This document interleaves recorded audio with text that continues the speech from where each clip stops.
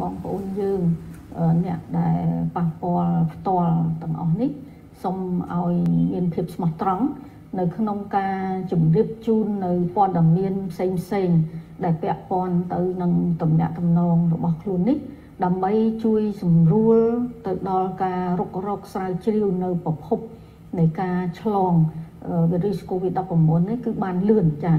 តើកាលណាយើងຕົក ការរុករកនេះកាលណាកាលណាកាន់តែយូរយើងរកកលឃើញហើយអញ្ចឹងលទ្ធភាពនៃការចម្លងបន្តទៅទៀតនេះក៏ក៏វាមានលក្ខណៈត្រង់ទ្រាយពិបាកដែរចា